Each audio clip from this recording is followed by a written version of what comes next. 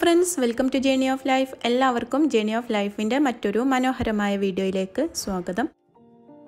നിങ്ങൾ വീഡിയോയിൽ കാണുന്നത് പോലെ തന്നെ അലോവേര നമുക്ക് ഈസി ആയിട്ട് എളുപ്പത്തിൽ വീട്ടിൽ എങ്ങനെ വളർത്തിയെടുക്കുക എന്നുള്ളതും കുറച്ചധികം ടിപ്സുകളും ഈ ഒരു വീഡിയോയിൽ ഷെയർ ചെയ്യുന്നുണ്ട്. അലോവേരക്ക് നമുക്ക് വീട്ടിൽ എളുപ്പത്തിൽ ഉണ്ടാക്കാൻ പറ്റുന്ന നല്ലൊരു വളവും കൂടെ ഈ ഒരു വീഡിയോയിൽ ഉൾക്കൊള്ളിച്ചിട്ടുണ്ട്. സാധാരണ കിച്ചൺ വേസ്റ്റൊക്കെ വെച്ചിട്ടാണ് ഈ ഒരു വളം ഉണ്ടാക്കിയെടുക്കുന്നത്.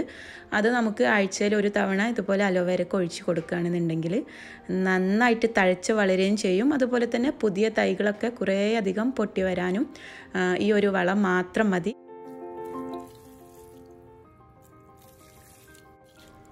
ആഴ്ചയിൽ ഒരു ദിവസം മാത്രം ഈ ഒരു രീതിയിൽ ഇതുപോലെ നനച്ചെടുക്കുകയാണെന്നുണ്ടെങ്കിൽ നമുക്ക് അലോവേര നല്ല ജെല്ലിയോട് കൂടിയിട്ടുള്ള കട്ടിയുള്ള പോളകളായിട്ട് ലീഫുകൾ ഉണ്ടാവുകയും ചെയ്യും. അതുപോലെ തന്നെ കൂടുതൽ കൂടുതൽ നല്ല തിക്ക് തിക്കായിട്ട് തന്നെ ചെടികൾ വളരും ചെയ്യും.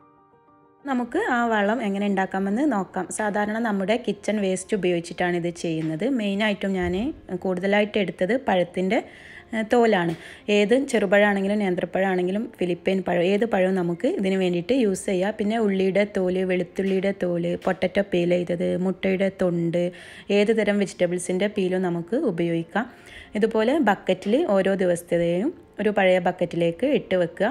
എന്നിട്ടൊരല്പം വെള്ളം ഒഴിച്ചിട്ട് ഇതുപോലെ ഇങ്ങനെ വെക്കുകയാണ് ചെയ്യുന്നത്. മാക്സിമം ഒരു അഞ്ച് ദിവസം ഇതുപോലെ ഈ ഒരു വെജിറ്റബിൾസൊക്കെ ഈ ഒരു വെള്ളത്തിൽ ഇട്ട് വെക്കണം.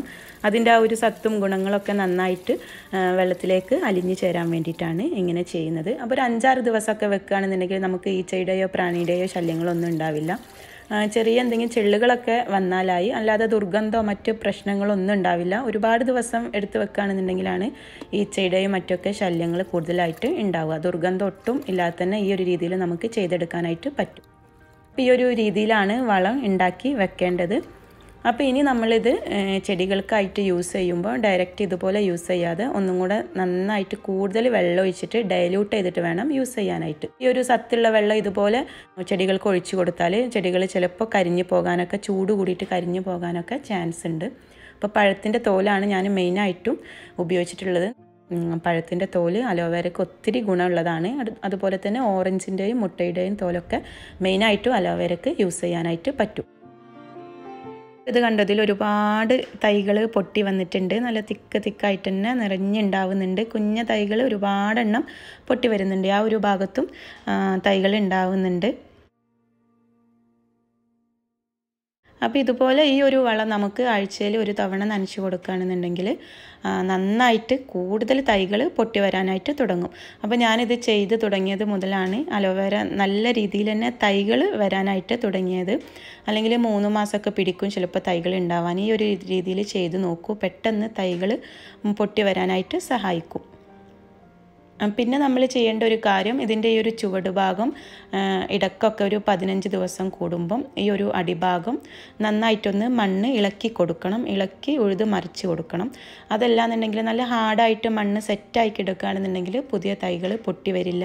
ഇതിന്റെ വേരിൽ നിന്നാണ് തൈകൾ പൊട്ടി വരിക. അപ്പം നല്ല സോഫ്റ്റ് ആയിട്ടുള്ള രീതിയിൽ മണ്ണ് ഇളക്കി കൊടുക്കുകയാണെന്നുണ്ടെങ്കിലാണ് തൈകൾ പൊട്ടി വരിക. ഇതൊക്കെ കണ്ട് ഒരുപാട് തൈകൾ പൊട്ടി വന്നിട്ടുണ്ട്. അപ്പോൾ കുറച്ചും കൂടെ ഒന്ന് വലുതായിട്ട് വേണം ഇത് മാറ്റി നട്ടു കൊടുക്കാൻ. ഈ ഒരു പോട്ടിൽ തന്നെ തിക്ക് തിക്കായിട്ട് നിറയെ തൈകൾ ഉണ്ടായിട്ടുണ്ട്. നഴ്സറിയിൽ നിന്ന് വാങ്ങിച്ച സമയത്ത് ആ ഒരു വലിയ തൈ മാത്രമുള്ള അലോവേരകളായിരുന്നു. ഇപ്പം നല്ല രീതിയിൽ തന്നെ തൈകൾ പൊട്ടി വരുന്നുണ്ട്.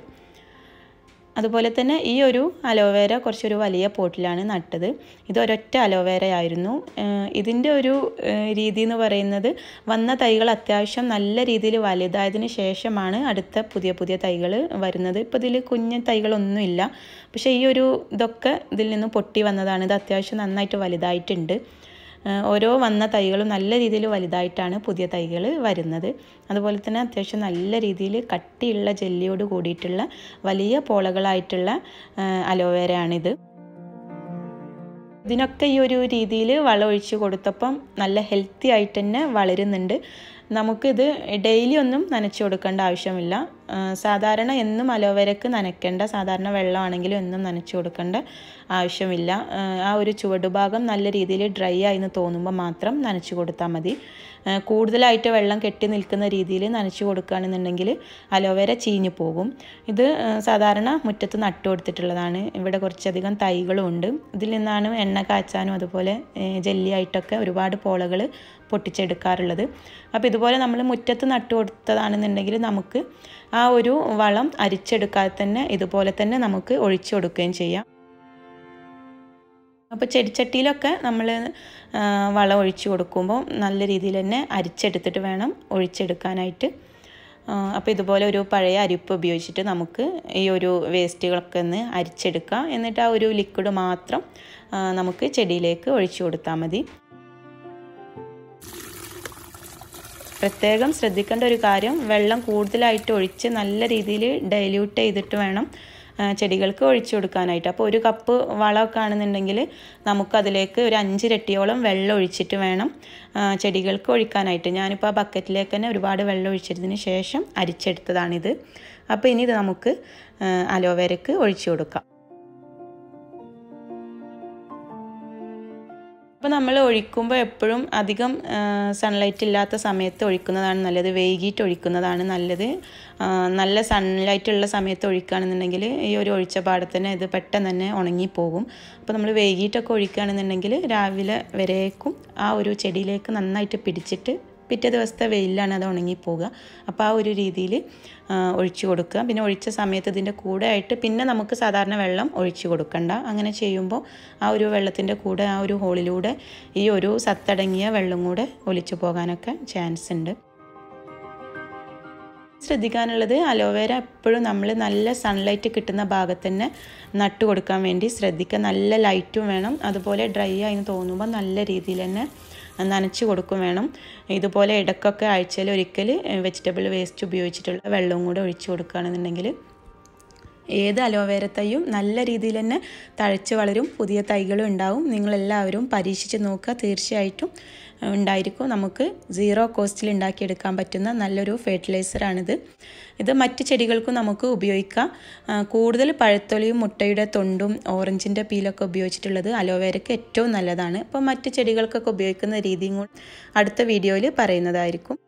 അടുത്ത പുതിയൊരു വീഡിയോയുമായി വീണ്ടും കാണാം. Thank you thank for watching